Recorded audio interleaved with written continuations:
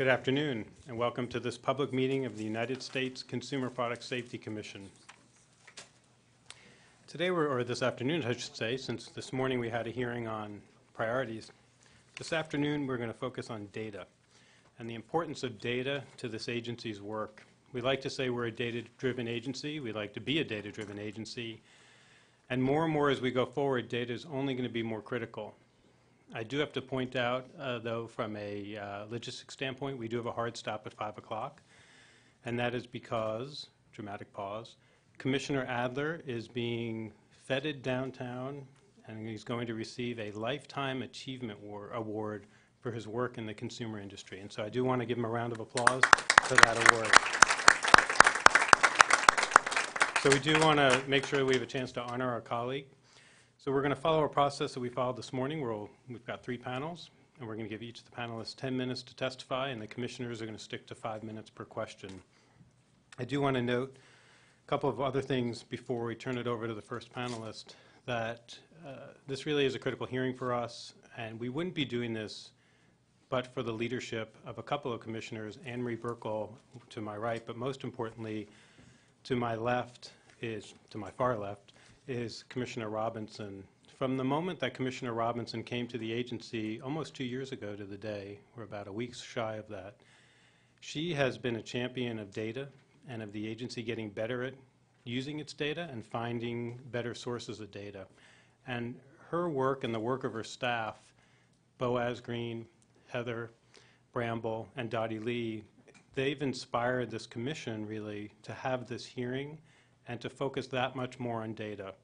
And they've really been the inspiration behind at least my two critical goals in this area, which are, as I mentioned, trying to do better with the data that we get, and also trying to find better data sources and better data analytics.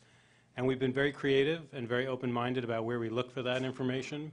About a year ago, for sports fans, Sports Illustrated had a cover piece that talked about how the Houston Astros are going to win the World Series in 2017. And that led us actually to Houston to go visit the Astros and to bring with us some of our experts to have an expert-to-expert discussion about what they do because we felt like there were a lot of similarities. And it turns out we were onto something because lo and behold, the St. Louis Cardinals allegedly were hacking into the same system. So that actually validated our trip. I felt good about that considering the success that the Cardinals have had. We've also had uh, extensive discussions with the, with the Chief Technology Officer who is at the White House and her staff. And we're in a unique position now where we announced actually a little while ago a vacancy to fill our Chief Information Officer. So it's very well timed. We're eager and hopeful that we'll get the type of applicants that will allow us to really see through the vision that we all have and to carry out uh, the goals and the purpose that Commissioner Robinson has tried to bring to this issue. So with that, I'm going to turn to the panel. We have Dr. Kyran Quinlan again from AAP. We have Dr. Brian Rudolph. From, he was an assistant professor of pediatrics at the Albert Einstein College of Medicine, Children's Hospital of Montefiore. We have Dr. Dan Budnitz, and he is from the Centers for Disease Control and Prevention Medical Safety Program, Division of Healthcare Quality Promotion, and Mr. John Myers, Chief of the Surveillance and Field Investigations Branch, Division of Safety Research at NIOSH. So thank you very much, gentlemen, and Dr. Quinlan, if we can begin with you, please. Sure. well, good afternoon again, uh, Chairman Kaye and Commissioners Adler, Buerkle, Mo- Mo- I knew I was going to stumble on um, Mohorovic and Robinson. Um, as I mentioned this morning, my name is Kyran Quinlan, and I'm here today on behalf of the American Academy of Pediatrics a nonprofit professional organization of 64,000 primary care pediatricians, pediatric medical subspecialists, and pediatric surgical specialists dedicated to the health, safety, and well-being of infants, children, adolescents, and young adults. I'm a pediatrician and currently serve as the chair of the American Academy of Pediatrics Council on Injury, Violence, and Poison Prevention Executive Committee, as well as an associate professor of pediatrics and preventive medicine at the Rush University Medical Center in Chicago. The AAP appreciates the opportunity to make recommendations to the U.S. Consumer Product Safety Commission on data sources and consumer product-related incident information and how such data can be used to inform CPSC's work on hazard identification, risk management, and regulatory enforcement. Pediatricians, especially those involved in uh, child injury epidemiology and prevention, utilize all of CPSC's data sets and value them greatly as they work to better understand, treat, and prevent injuries in infants, children, and teenagers. The significance of these information sources in protecting children's health and safety cannot be overstated. Specifically, I and my AAP member colleagues use the following CPSC information and data sets. First, the National Electronic Injury Surveillance System and the NEISS AIP, the All Injury Program. Uh, we found access to the NEISS AIP simplified by the web-based in- injury query and reporting system, the WISQARS system, uh, through the partnership between CPSC and the CDC um, at, and the National Center for Injury Prevention and Control at the CDC. The NEISS and NEISS AIP have served remarkably well um, to provide descriptive epidemiology, identify emerging issues, and evaluate effectiveness of interventions. Um, while I was working at CDC some years back, I helped Leanist uh, sort of evaluate the expansion of the all injury program. And uh, I was fascinated going out to the various hospitals at the nimbleness of that system, how economical the data is, uh, and how useful it's been over these years. It's an outstanding data system, and uh, CPSC should really be congr- congratulated for administering it for all these years. Um, Second, the medical examiners and coroners alert project. Um, Also, the saferproducts.gov public complaint database, uh, CP CPSC in-depth investigation reports, uh, CPSC recall data, and CPSC injury and fatality data for all-terrain vehicles. My colleagues and I use these sources of information for both case-specific and aggregated data purposes. These data help pediatricians to understand injury trends, obtain statistics, measure the efficacy of various product-related interventions, protections, and regulations. We were asked too to look at or explain, talk about um, non-CPSC data sources that we use. And in the world of pediatric injury prevention, injury epidemiology and prevention, we also utilize data sources compiled by organizations other than CPSC, including um, vital statistics system of the National Center for Health Statistics, often also through the WISQARS uh, website. It's very easy access to U.S. fatality data. Um, the National Poison uh, Data System, um, also the Healthcare Cost and Utilization Project Kids Inpatient Database, the HCUP KID, which was established by a fate, uh, federal state industry partnership sponsored by the Department of Health and Human Services Agency for Healthcare Research and Quality. The HCUP nationwide emergency data sample, which produces national estimates about emergency department visits across the country, and National Inpatient Sample, which is the largest publicly available all-payer inpatient care database in the U.S., containing data on more than 7 million hospital stays each year. These are also data sources we use. Both the NEDS and the NIS are a part of the Healthcare Cost and Utilization Project created by AHRQ. We also very frequently use uh, various databases from the National Highway Traffic Safety Administration, NHTSA, such as the Fatality Analysis Reporting System, the Crash Worthiness Data System, and the General Estimates System. The FARS, the Fatality Analysis Reporting System, is a census of all fatal crashes in the United States. The CDS has detailed data on a representative random sample of thousands of minor, serious, and fatal crashes. And the GES began in 1988, and data from G, for GES come from a nationally representative sample of police-reported motor vehicle crashes of all types, from minor to fatal. And we also use various national surveys, such as the Medical Expenditure Panel Survey. MEPS is also administered by AHRQ and is a set of large-scale surveys of families and and individuals, their medical providers, and employers across the United States. MEPS is the most complete source of data on the cost and use of healthcare and health insurance coverage. So now for recommendations for improvements to CPSC data sets. The AAP believes there are a number of improvements that can be made to the excellent content of the CPSC's data sets.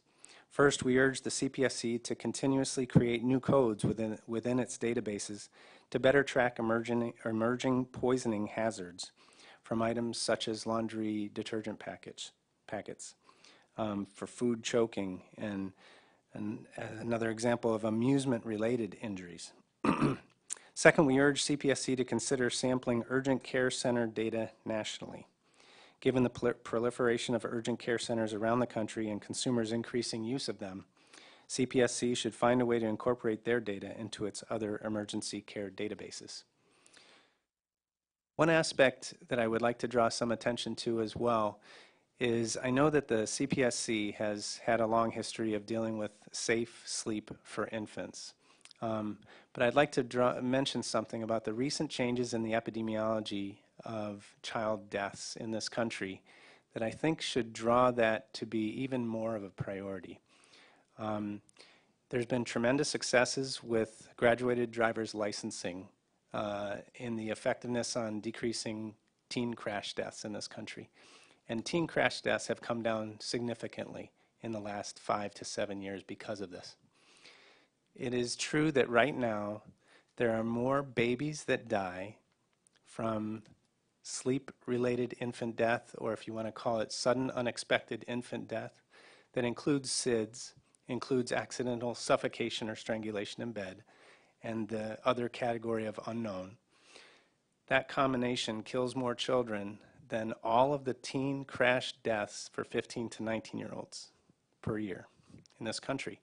And all those infants, about 90 to 95% of those infants, die in the first six months of life. So if you look at rates, it's a towering difference between uh, those two. Um, this is a huge issue. It's truly the primary threat to the life of a healthy infant in this country throughout their childhood. in terms of recommendations for improvements to dissemination of CPSC data sets, pardon me, um, in addition to the above improvements to data collection, we urge CPSC to make changes to how it disseminates this information to the public. Uh, data compilations such as the annual ATV reports should be released in a timely fashion. In addition, the Commission should make NEISS occupational injury related data, which currently go to the National Institute for Occupational Health and Safety, Safety and Health, available to the public. This same, the same should be done for NEISS all injury program data, which currently go to the CDC. So to conclude, the data for the, the data the CPSC gathers and provides to the public is critical to preventing future injuries and fatalities. Pediatricians in particular rely on this information to treat their patients and to help reduce child injury and death rates. We are grateful for the opportunity to comment and look forward to assisting the Commission in protecting the health of all children. And I'm happy to answer any questions when the time is ready. Thank you, Dr. Quinlan. Dr. Rudolph? So thank you so much for the opportunity to uh, speak here today. My name is Dr. Brian Rudolph. I'm an assistant professor of pediatrics at the Children's Hospital Montefiore uh, at Albert Einstein College of Medicine in New York. I'm also here today as representative of the North American Society for Pediatric Gastroenterology, Hepatology, and Nutrition, or NASPGHAN. So NASPGHAN represents pediatric gastroenterologists and related practitioners in the United States and North America. Several years ago, my colleagues uh, many within our organization rather, began identifying children injured by high-powered magnet ingestions. As a response, NASPGHAN conducted a member survey to better understand the ingestion incidence. Alarming survey results led to several publications of epidemiologic data, as well as NASPGHAN's strong support of the Consumer Product Safety Commission's effort to protect children from dangerous magnets, including a new safety standard for high-power magnet, magnet sets that took effect this year. Today, I'd like to briefly share our experience with you while specific, specifically focusing on how we use CPSC databases and others to care for patients. It is my sincere hope that this statement offers useful information as you seek to improve your methods of data collection. NASPGHAN's concern with high-powered magnet sets began in early 2012 after a pediatric gastroenterologist posted a case of a child with a poor outcome from a magnet ingestion to an online forum. He was curious if other physicians had had similar cases. The response was overwhelming, and it quickly became apparent that these magnets were adversely affecting children from across the United States with seemingly high frequency. NASPGHAN leadership subsequently supported a member-led epidemiologic survey from June to October of 2012, which confirmed a high incidence of ingestion and a significant rate of overall morbidity. Dr. Mazen Abbas et al. published the first epidemiologic data on high-powered magnet ingestion shor- shortly thereafter in July of 2013. In this trend analysis, the authors demonstrated a 75% annual increase in emergency department um, visits for magnet ingestions from 2012 to 2011. This data was obtained from the National Electronic Injury, Injury Surveillance System, or NEISS, by using quote ingested object end quote in the uh, query uh, section. The authors then manually reviewed each narrative with the word magnet, total of 678, to more readily identify cases of high-powered neodymium magnet ingestions. Those that were listing magnets as uh, round, with the word spherical, ball, pebble-shaped, and/or small, such as less than one centimeter, pebble, small, or tiny. While an important finding, this study was unable to provide any outcome data, which is a limitation of the NEISS database. In November of 2013, a separate group of researchers retrospectively analyzed 72 cases of magnet ingestion collected from two other CPSC sources, the Injury Potential Injury In- Incident, or IPII, and the In-Depth Investigation, or IDI, databases. In contrast to Dr. Abbas's study, this article was able to provide information on patient outcomes, but was limited by both sample size and selection bias. We all know the conclusion to this story, and I once again like to thank the Commission for its role in regulating high-powered magnet sets, and I sincerely believe that your actions will save children's lives. So thank you very much for that. But as you can imagine, this experience, presumably for all of us, was not easy. As a physician and a researcher, it was often difficult to obtain and analyze the data. Second, much of the information used to form treatment and risk stratification guidelines, namely outcomes data, is not readily available within NEISS. The NEISS database is extremely useful, but has multiple limitations. First, NEISS only contains records for patients treated in emergency departments. By excluding outpatient physician visits and/or acute care centers, the actual number of injuries for any given hazard is likely underestimated. Second, documentation of emergency department visits in the NEISS data- database often does not provide a sufficient level of detail. In the case of magnet ingestions, for example, researchers were unable to differentiate suspected from actual magnet ingestions. Third, the information needed to estimate product harm is often obtained only upon manual review of the data. This process is laborious, limiting to future researchers, and likely leads to inaccurate incidence estimates. Fourth, sample estimates provided by NEISS are reliant upon U.S. Census Bureau historical estimates. Fifth, NEISS cannot provide further information on incidence changes over time, that is, whether an increase in neodymium magnet ingestions, for example, are due to increased exposure, public awareness, or increased healthcare access. Sixth, as mentioned, NEISS does not contain outcome data. In the case of magnet ingestions, we do not know which injections result in surgery or an endoscopy, prolonged hospital stay, or long-term complications and/or disabilities. Lastly, analysis of the outcome information in the IPII and IDI databases is limited by significant selection bias and generally a small sample size. These limitations significantly affect the ability of physicians to establish treatment protocols when foreign body ingestions occur. Taking high-powered magnet sets as an example, NASPGHAN's treatment guidelines are largely based on expert opinion according to the anatomic position, number ingested, and timing of the magnet ingestion. Further data is needed to identify predictors of poor outcome and/or different, differentiate treatment modalities, such as watchful waiting, endoscopy, or surgery. Additional outcome data would also be helpful for other childhood ingestions, including such current threats as button batteries or detergent pods. Unfortunately, I'm unaware of any non-CPSC data sets that contain consumer product-related incident or outcome data with a high level of detail. Two databases maintained by the Centers for Disease Control and Prevention, the CDC, the National Hospital Care, excuse me, the National Ambulatory Medical Care Survey and the National Ambulatory Medical Care Survey are national probability sample surveys, but cannot be used to obtain true incidence or prevalence estimates.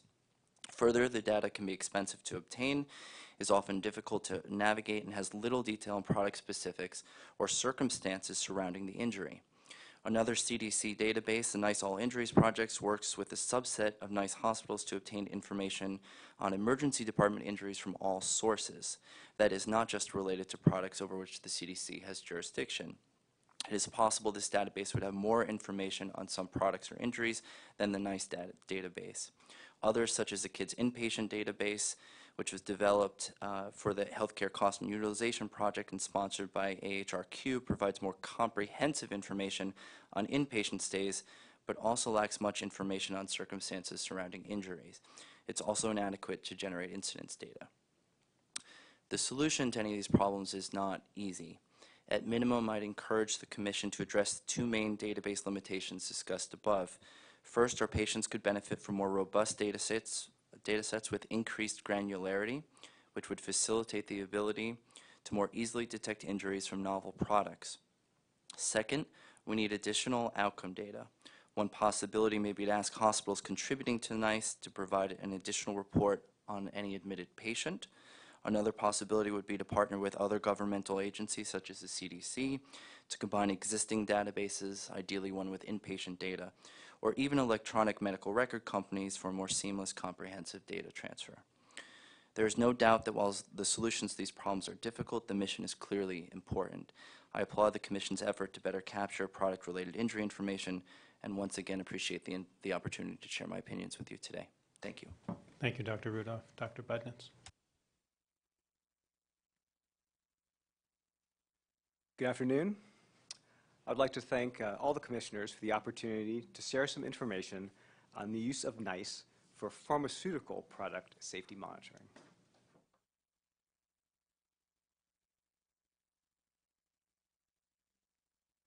I'd like to start with some background on pharmaceutical product-related harms, or adverse drug events, which basically are when a patient is harmed rather than helped by taking a pharmaceutical product after they experience a side effect, an allergic reaction, an accidental overdose, or a medication error. Then I'll talk about a few things that make NEISS unique and useful, and give some examples of how many are translating data from NEISS into impactful action. And finally, I'll conclude with some potential opportunities uh, relating to enhancements. So why is NEISS such an important source of information on adverse drug events? Well, it starts uh, with Sutton's Law, named for this fellow here, who's a prolific bank robber uh, in the mid-1900s, who when asked, why do you rob banks, replied, because that's where the money is. Now, Sutton's Law is the basis for a public health approach to medication safety, which can be, trans which can be applied as where the greatest number of adverse drug events occur, therein lie the highest potential for overall harm reduction.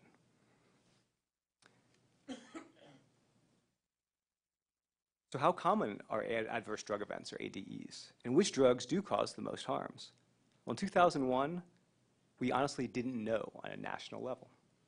In fact, a GAO report uh, from 2000 concluded that the data on emergency department visits and hospital admissions were insufficient for estimating overall adverse drug event frequency.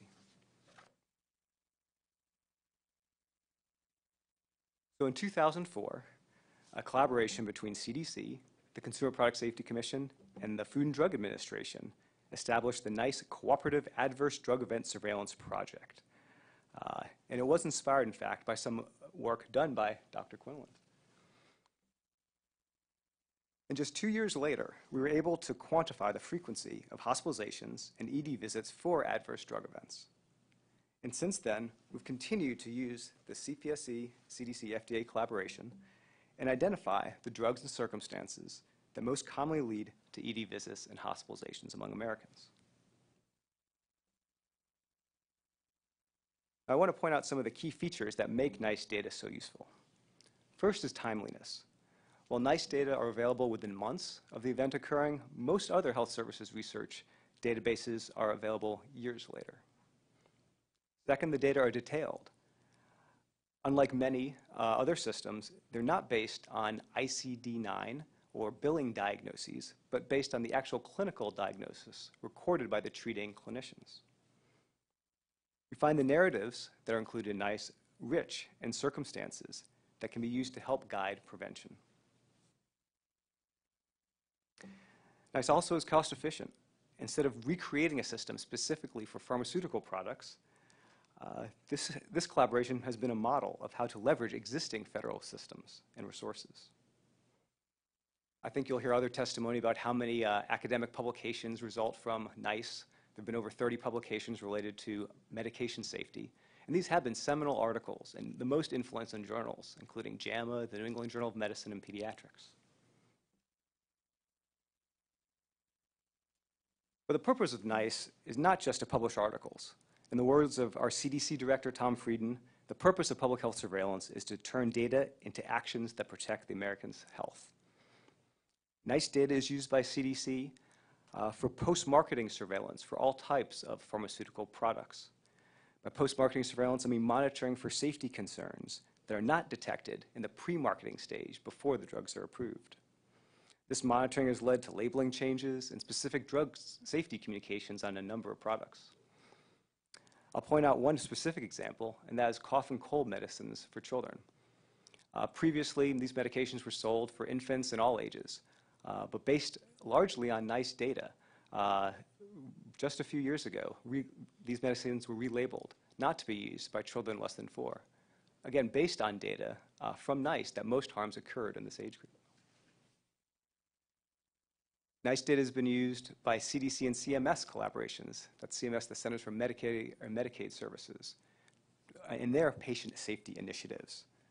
Uh, one of these is the Partnership for Patients uh, under the uh, ACA that based on NEISS data focused hospitals' attention on the drugs identified in NEISS as the most common cause of emergency department visits and hospitalizations. And finally, CDC uses NEISS data its efforts to reduce antibiotic overuse and prevent antimicrobial resistance to these valuable medications. They use NEISS data on the harms from, ad, from, from allergic reactions that may be prevented by unnecessary use overuse.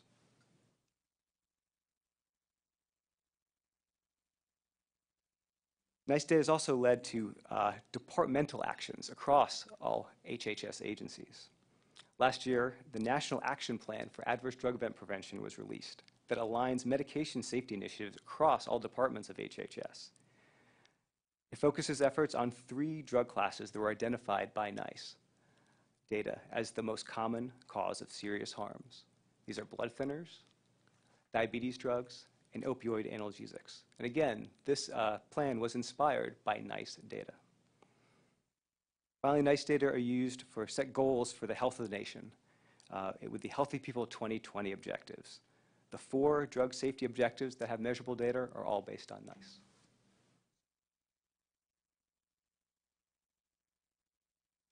And finally, NEISS data are leading to voluntary private sector action as well. I'd like to highlight some data on pediatric adverse drug events that is currently driving private sector innovation for medical product safety. First, companies are now implementing innovative child safety packaging called flow restrictors to provide safety above and beyond that typically required by child-resistant packaging. These flow restrictors are now implemented voluntarily on all infant acetaminophen products. Based on NEISS data, they identified a new uh, increase from essentially zero medication ingestions in children from, the, from a drug buprenorphine to 1,000, over 1,000 a year manufacturers are now starting to implement unit dose packaging for this product. Details contained in the NEISS narratives has led to efforts uh, to update our educational messages on safe storage of medications and how to dose medications, for example, using milliliters uh, to prevent confusion between tablespoons, teaspoons, and other measures. And finally, I'll cite an example from Walmart, which I call their triple play for pres prescription liquid medication safety uh, not through regulation, but they voluntarily at Walmart were convinced by the data uh, in NEISS to now uh, deliver all their liquid medications from their pharmacies with flow restrictors, to include uh, milliliter dosing devices, and to include educational messages on safe storage.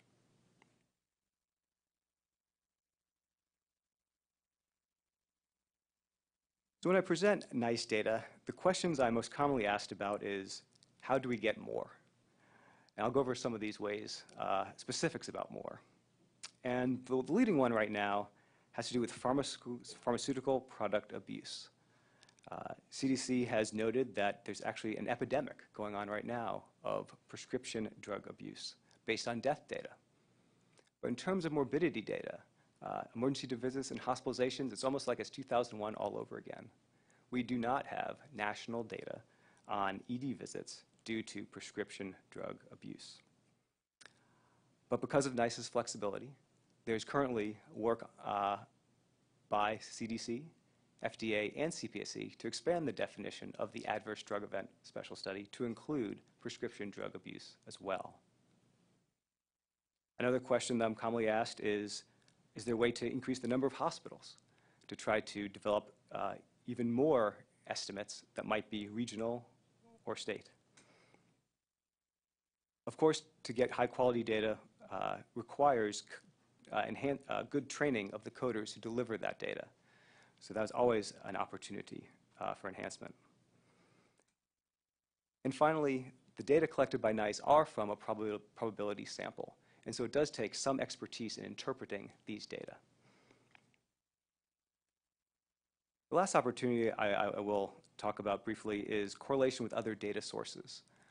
Uh, As I mentioned earlier, ICD-9 codes are the most commonly used codes for many health services resource, uh, health services research, research data sources, and correlation with the NEISS data, not to determine if one is, may be right or wrong. There certainly are different purposes for each, but correlation may be helpful for the future. Thank you. Thank you, Dr. Budnitz. Mr. Myers?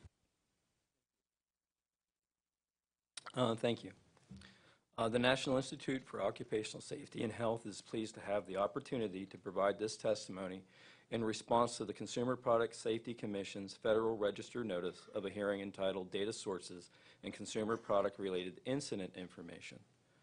NIOSH supports the continued product-related emergency department-based data collection efforts of the CPSC. While this data provides useful information to inform product-related prevention efforts, it also provides a mechanism to collect surveillance data for several other areas of public health importance, including work-related areas, a priority area for NIOSH. CPSC captures all product-related injuries treated in EDs using the National Electronic Injury Surveillance System. Medical record abstractors review all ED records at a sampled hospital and abstract data from all records identified to be product-related. The data abstracted for product-related surveillance include demographics, diagnosis, injured body part, and narrative explanation of the injury. NIOSH relies on occupational, on an occupational supplement to the NEISS, known as NEISS Work, to collect data on non-fatal work-related injuries treated in EDs. NEISS Work is funded in part by NIOSH through an interagency agreement with CPSC, with data collected from a hospital sample that represents about two-thirds of the overall NEISS sample. The NEISS medical record abstractors captured NEISS Work data, collecting the same core variables collected in the product-related data, as well as nine additional variables specific to work-related cases, including industry and occupation. The partnership between NIOSH and CPSC via the NEISS enables NIOSH to collect surveillance data that would not be otherwise possible. NIOSH, or NIOSH's work is one of two major sources of nationally representative occupational non-fatal injury data. The other source, the Bureau of Labor Statistics Survey of Annual of Occupational Injuries and Illnesses, or SOI, collects data from a sample of private industry and state and local establishments based on record-keeping requirements of the Occupational Safety and Health Administration. Certain types of establishments are not included in the SOI because OSHA record-keeping requirements do not apply to all establishments or all work situations. Specifically, self-employed workers, private household workers, certain public employees, and agricultural establishments with less than 11 employees are not subject to OSHA record-keeping requirements. In addition, SOI only captures detailed data on occupational injuries that result in days away from work. While NEISS is limited to ED injuries, it does not face the same establishment, work situation, or injury severity limitations that are inherent in the SOI. Consequently, although neither NEISS work nor SOI comprehensively capture work injuries, they offer complementary perspectives that contribute to better understanding of occupational injuries in the United States. NEISS work has consistently been collected by CPSC for NIOSH since 1998. Its value and utility has been demonstrated through numerous publications, products, and data requests. These data have been used in a multitude of publications covering injuries in specific occupations such as emergency responders and correctional officers, and injuries in specific industries such as construction and fast food. Publications have also addressed specific diagnoses such as traumatic brain injury and burns, and also covers specific demographic populations such as younger and older workers. NIOSH makes de-identified NEISS work data available on a publicly accessible query site that is used by researchers, academicians, and occupational safety and health professionals to provide national estimates of work-related injuries. NEISS work data are periodically requested for the purpose of providing justification for a proposed prevention effort, such as eye and face protection. Finally, NEISS work data serve as a source for monitoring injury trends, as exemplified by the use of NEISS in monitoring U.S. Health, yeah, U.S. Department of Health and Human Services Healthy People 2020 objectives. NIOSH has also used NEISS to conduct follow-back studies, contacting injured workers identified in the NEISS work data and requesting their participation in telephone interview surveys. This extension of the routine NEISS, date, NEISS work data collection allows capture of detailed injury and worker information and has led to publications related to bloodborne pathogens, exposures, and work-related violence.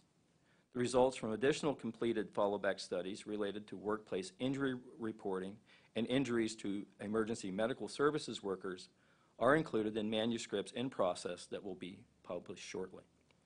While NIOSH work, while NIO NEISS work publications are primarily targeted at worker safety, some of the publications are focused on injuries related to products that are also used by consumers outside of the workplace.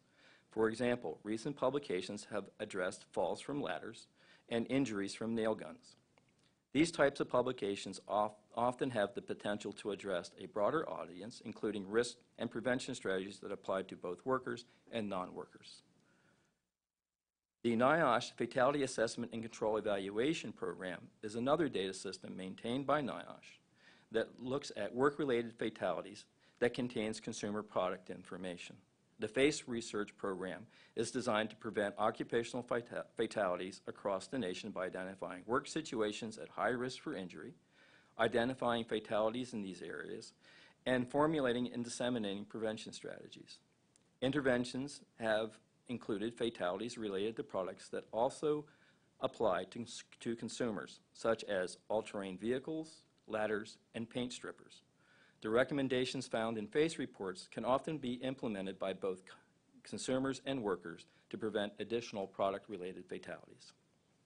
In conclusion, NIOSH depends on CPSC collection of NEISS for sustainability of our own occupational injury surveillance system.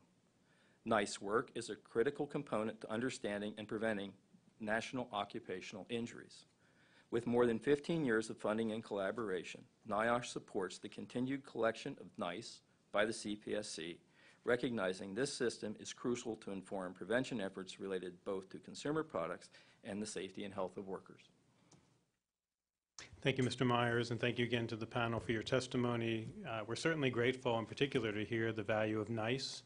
It's something that we can appreciate from a CPSC standpoint, but it's also phenomenal to hear outside of CPSC, across the government and beyond, the value of it. And we're incredibly fortunate to have an ex- an extremely dedicated and talented division of epidemiology, and our director of that division is sitting in the room, Ms. Kathleen Stralka. And so, um, and Mr. Tom Schrader, her deputy, I'm sure that they both appreciate hearing this. Uh, They're the ones on a day-to-day basis, and their staffs who are making this work and keeping this up and running and continually looking for ways to improve it. And so it's valuable to us and hopefully valuable to them as well. We're now going to turn to five minutes of questions per commissioner. And in recognition of Commissioner Robinson's role on this issue, I'm actually going to yield my five minutes to her for her to use so she has extra time. So yielding to Commissioner Robinson. Thank you so much, Chairman Kaye. When I first came with this agency and realized how critically important our data are to virtually every product safety decision being made in the world, I started to focus on it. And I came to know personally the uh, outstanding work that Tom Schrader and Kathleen Stralka have done in this area.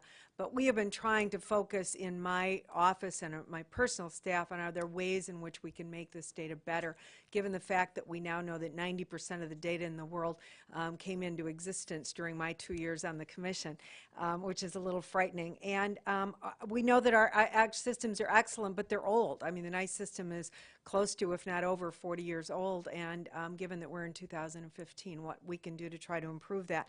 I was absolutely delighted, thrilled beyond belief when Chairman Kaye said that he thought that this hearing was a good idea. And I went back to my staff, and they were all over it. They were crazy about it. Um, I have the most energetic, um, brilliant staff, Heather Tr- Bramble and Boaz Green and Dottie Lee, and the three of them really spearheaded getting in touch with the agencies that use our data, people who have ideas about how we can improve it, and several government agents who are, who are going to be talking to us about the ways in which they're improving their data to hopefully give us some ideas. So let me just start quickly. Um, with this, this area. And what I'm going to do is I'm going to spill these questions out and then just turn to you since I have limited time, even though Chairman Kaye has been kind enough to give me his five minutes. I'd like to first of all talk about urgent care centers because we know that there are holes in our data, and we know that that's one of them. And many of you have mentioned, um, most of you have mentioned that you do not have data from this, and I've heard this before. Um, what we've tried to do in my office is trying to contact urgent care um, uh, the, the organizations, the professional organizations, the large hospital groups to see if we can figure out how to do this. Um, I know I'm from Michigan, and when somebody says that there's increasing use of urgent care, that's certainly my personal experience, that people are going more and more to urgent care facilities instead of emergency departments. But my question of all of you, and um, uh, you can just answer me as, uh, and we can continue this conversation afterwards, but do you have any ideas for us on how we might be able to access that data that is in the urgent care facilities? And if you don't, um, do you have any relationships with people who might be in the large hospital groups that would have urgent care facilities or the professional organizations that we might be able to tap into to start getting some of that data?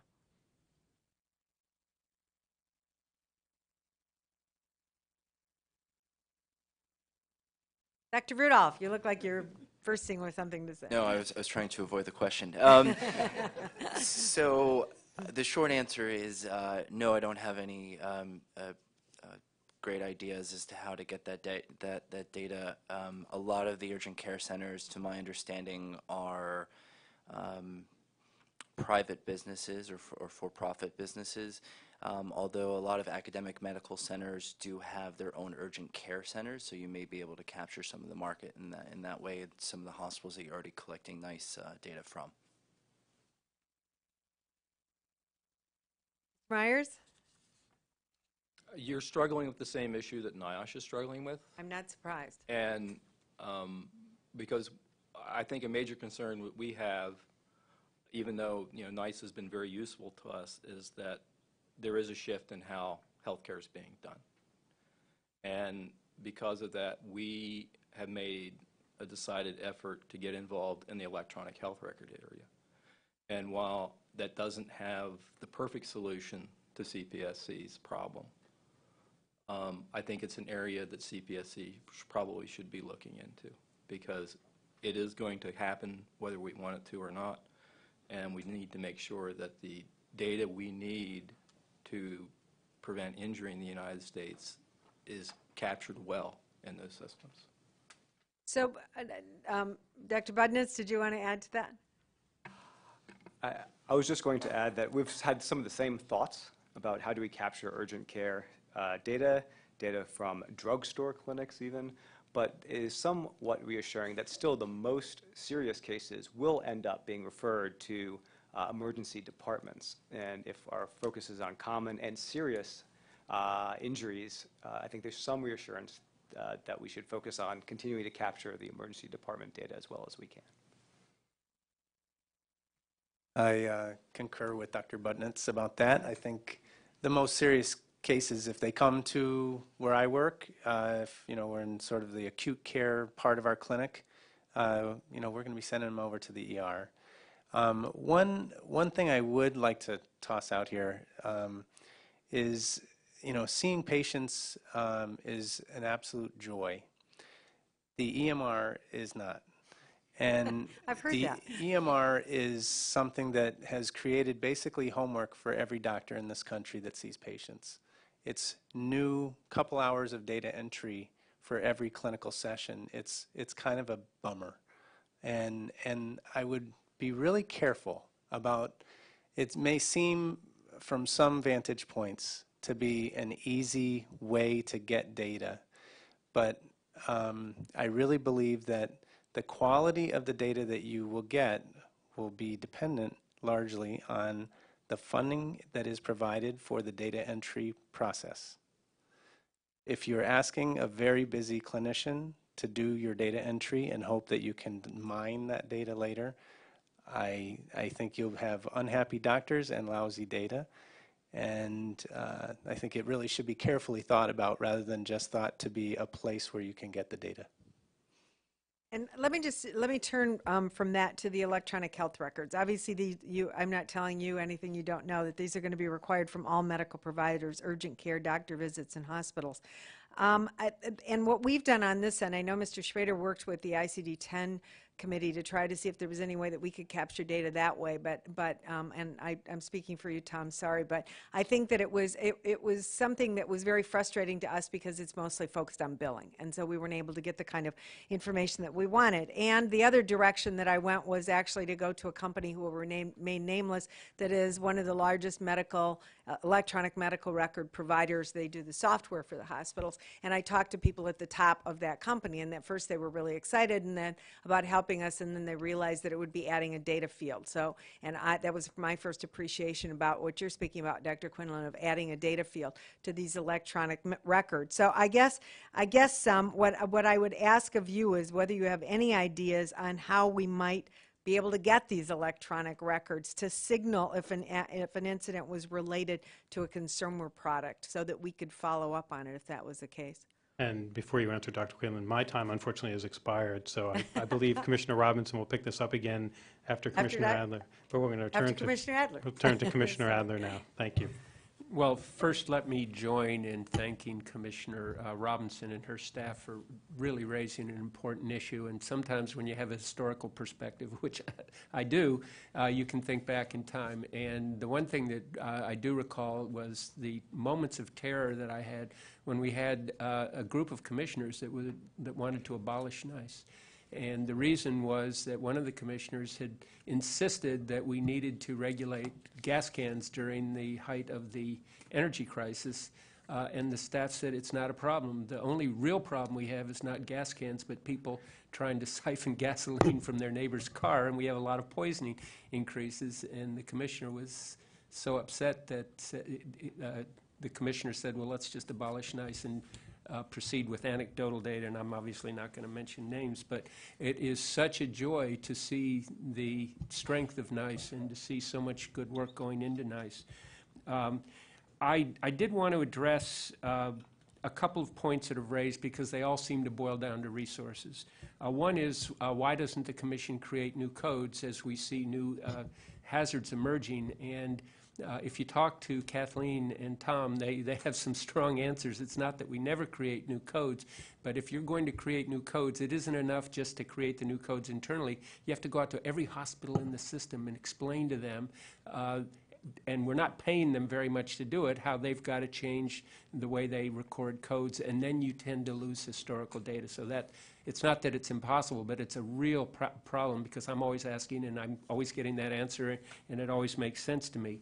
Uh, the other point with respect to urgent care centers, again, the historical perspective, back in the day, the commission, in response to this very same concern, didn't go out to urgent care centers because we didn't have that many around, but we had physicians. And so we actually uh, spent a lot of money doing a physician office survey to see what it was that we were missing. And my best recollection is, and uh, I think several of you have addressed it, Dr. Budnitz, is that, and this was to me surprising, that uh, the actual patterns of injuries were not that different. Uh, you'd get the more severe ones going to the emergency rooms, but it wasn't the case that, you know, we were seeing paper cuts at physicians' offices and we weren't seeing them in emergency rooms. There just didn't seem to be that dramatic a difference.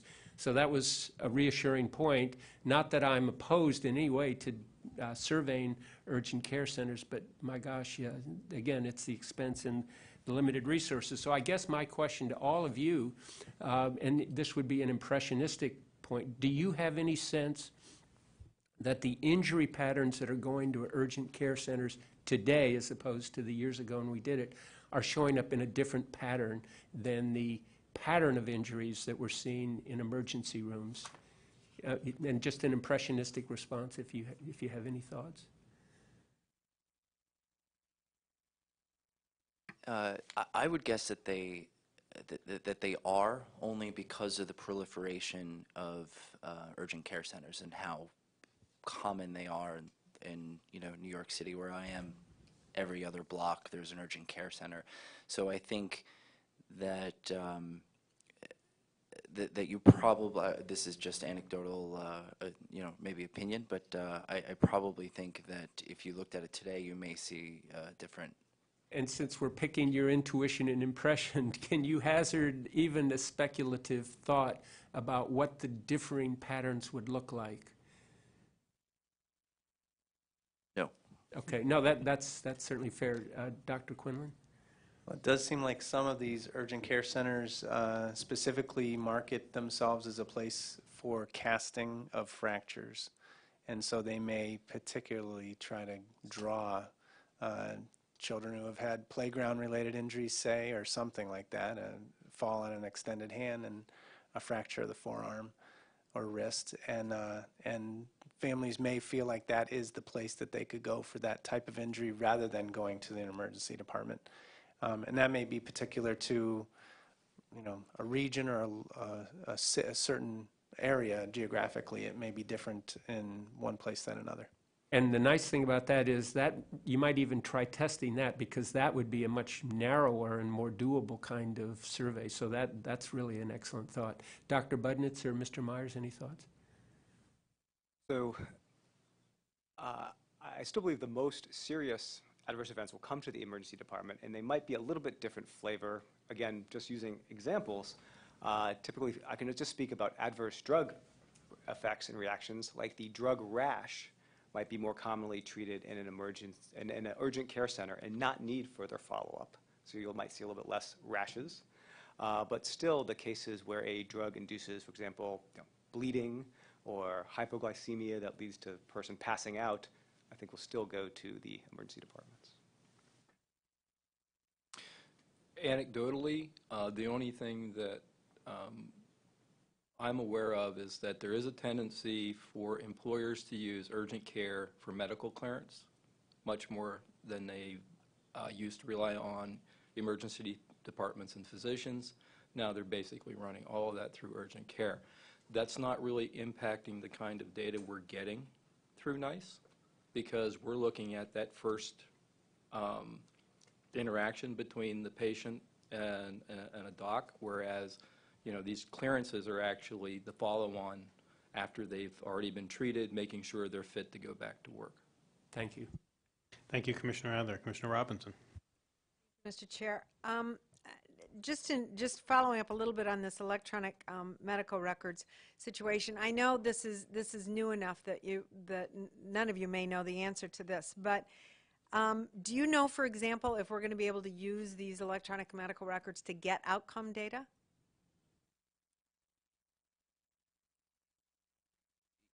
Um, should. I mean, eh, if I see a patient uh, in the hospital, everything is documented from the time they step foot in the emergency department to the time they're discharged.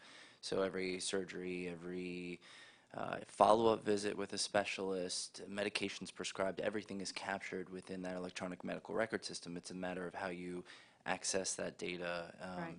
and get it in a, a packaged form that um, isn't overly cumbersome, but yet still uh, effective and useful.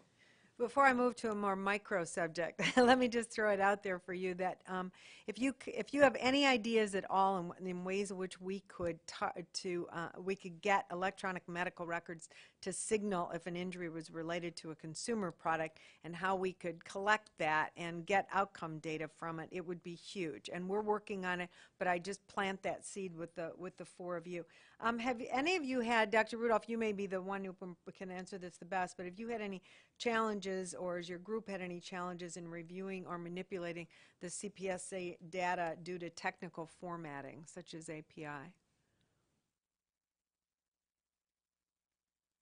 Um, I, technical formatting. Um, actually, I, I don't know if you can, uh, if you have any experience with this. So personally, I'd, I'd say no. Um, as I as I mentioned, however, um, some of the data is not necessarily um, there that we need, and it's a lot of manual review. That's Um, because of the lack of coding granularity? Exactly. Okay.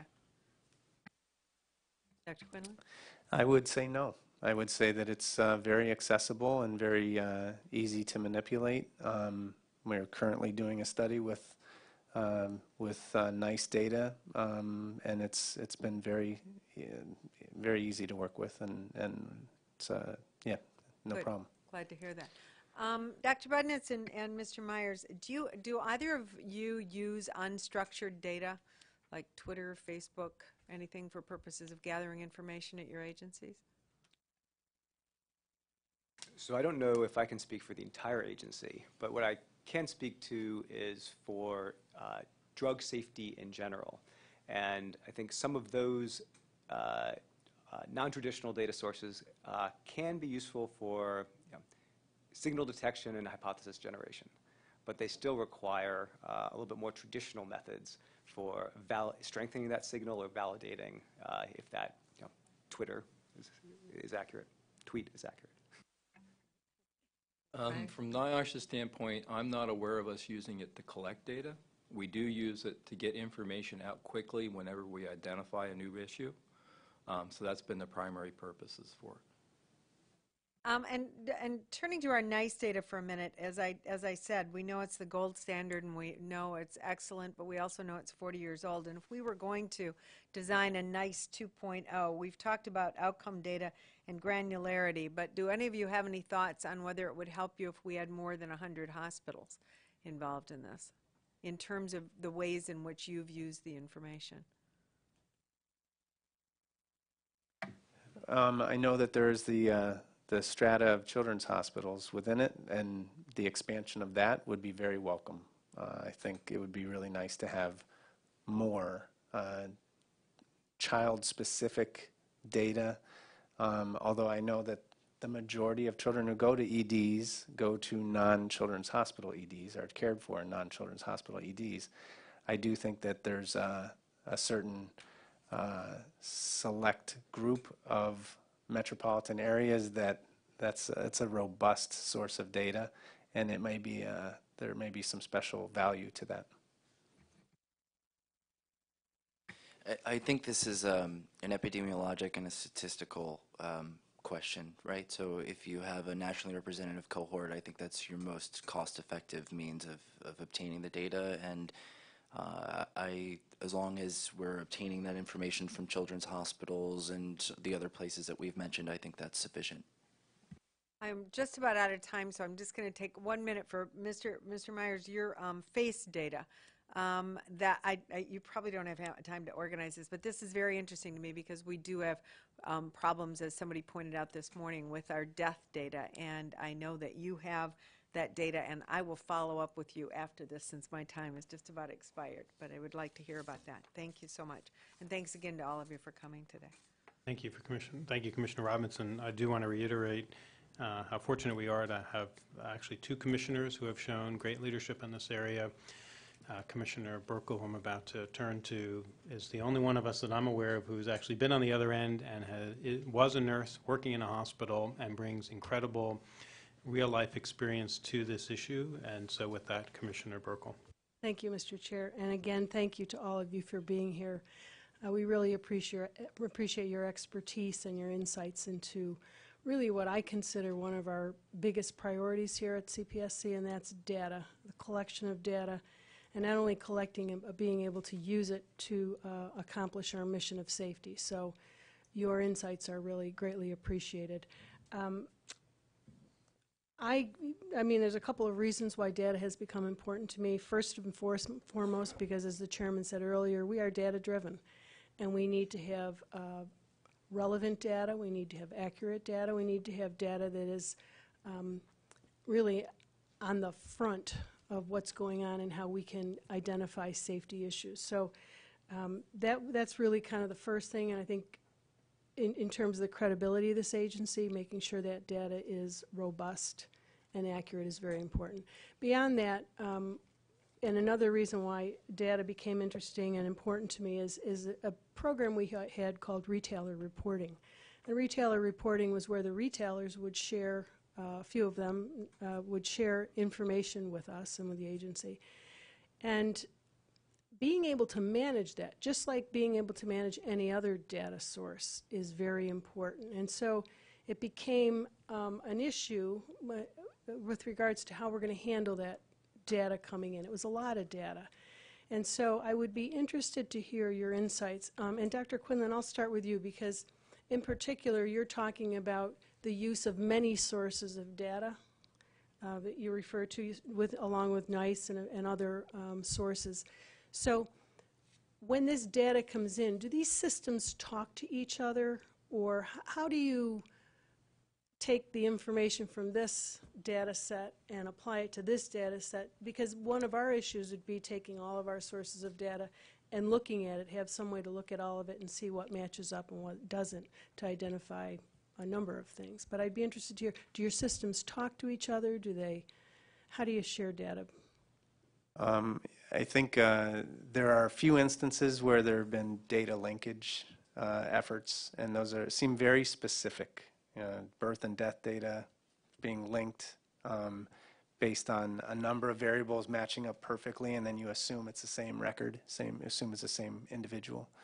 Um, Those are, uh, those are very particular, I don't know any general sort of suggestion or recommendation that comes out of that. Um, I don't know if I have any other uh, great insights into it because there's so many different data systems and they're all different slices. Um, you know, there's mortality and morbidity and mixtures of those two. Um, it's it's a such a variety. Does anyone have, anyone else have anything to share on that? Mr. Myers?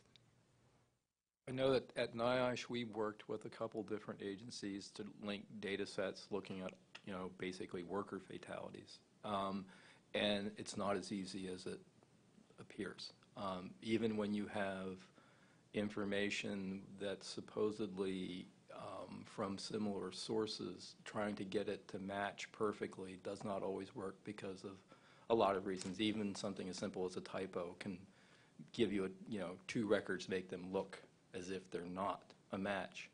Um, So, again, this is something that hopefully, and, you know, something like the electronic health record, where some of these medical records are supposed to have common identifiers, linking certain things such as hospital discharge and emergency department data might become easier. I do know states that do that, and some of them do rely on the rudimentary electronic records they have. Um, But I don't think we're there yet. Thank you. Dr. Budnitz, did you have anything to add to that? I was just going to add, we attempted to do something like this with vaccine reporting adverse events and with vaccines, adverse events reported in NEISS. And again, similar, lo- lots of challenges. But a key one is that one's a probability sample, and so would not, of course, expect to have uh, uh, adverse events from a, from a larger system. Um, And and so I think that's something to keep in mind, that you're not going to have, you know, full matching when you match a probability system from another source. Yes, Can I add one other thing? Um, the uh, in in reading a variety of literature uh, uh, studies, not just injury studies, um, mainly from from Europe, it's it's a totally different thing over there in terms of the ability to, to have population-based studies. Um, you know, in in uh, many countries, it appears that they have, you know, the, the uh, ability to know uh, that they've captured every single case of whatever you want to capture um, because they have a nationalized uh, data system. And I- don't, it's such a patchwork here in this country, and we've got such a change in our, the way healthcare is paid for in this country right now. I don't know the implications of this, but uh, taking a trip to Sweden might be very interesting. I'm going to ask the chairman right here in public. Thank you all very much. Thank you, Commissioner Buerkle. And I was just in Sweden a few weeks ago, if I'd only known. I think that uh, we are going to want to follow up with you on that, probably, because through our work with OECD, we're working on trying to create more of a global NEISS effort, and so I think that would be a good conversation to continue to have. Commissioner Mohorovic? Thank you, Mr. Chairman. I'm surprised, Mr. Chairman, that right before Commissioner Buerkle asked that, you didn't remind her her time has expired, and she wouldn't be able to get that off. But I similarly appreciate the leadership that's uh, consistently demonstrated by my colleague, Commissioner Robinson. And uh, like you, Mr. Chairman, I'd like to offer to yield my time to Commissioner Robinson if she has additional lines of discussion she'd like to pursue with the panel. Thank you so much, Commissioner Mohorovic. It's very much appreciated. Um, And I have a daughter in Sweden, so I'll take you up on that, too. Um, The FACE data, Mr. Myers, could we turn back to that for a minute? And I'm just going to, I, I think it'll be more efficient if I just tell you the, what I'm looking at question-wise, and then you can decide how to organize um, your response. But I'm looking at how you organize that fatality data. Is it open? How frequently is it updated? How is it accessed? And when you identify trends in that data, do you contact other agencies? Okay, okay. the- The, the FACE data itself is not a complete um, set of fatality data. It's a selected case series of fatality investigations.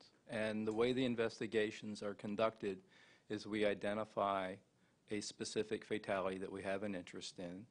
We go to the work site.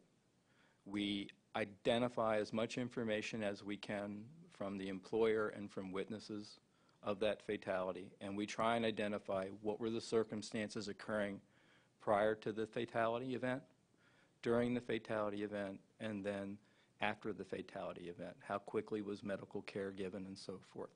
And we try and piece that all together in a public health approach of not putting a, a finger of blame, but to actually just look at all the circumstances and said, and saying, if you had tried this intervention here, it would have stopped the chain and would have prevented the fatality.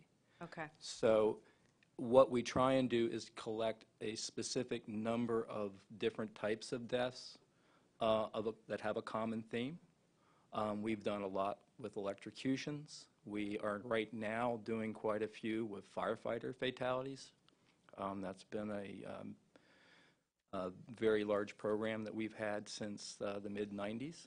Um, And a lot of this is basically using that, that approach to try and come up with recommendations that we can give back to the employer and to workers to say, these small changes can prevent the deaths. Okay, thank you so much for that. Um, And this one, next one I'd like to address to do- both Dr. Budnitz and Mr. Myers as the CDC and NIOSH people here. Um, You're the substantive experts on dealing with our NEISS and other data, and we're looking at our data right now. In fact, we're transitioning, as the chair mentioned, in our IT department. And I'm curious if you have advice from your agencies as um, as to how we might deal inter, how you deal internally with your technology experts. I don't know if you have um, CIOs, CTOs, CDOs, or how you, how they interact with each other. But if you could make a few comments on what your agency has, that would be helpful. Mine's real quick. Um, Ours is a bare bones operation. Um, Primarily, we rely. More so than ours? yeah. Uh, we rely heavily on CPSC to give us the data in good shape, and then we take that and do what additional coding we need to do to get it um, into an electronic format that we make can make available on our um, public query site. But to be honest with you, the bulk of the IT and data structuring, we rely heavily on CPSC, and they do such a good job of it, there's very little we have to follow up on. Okay. Dr. Budnitz?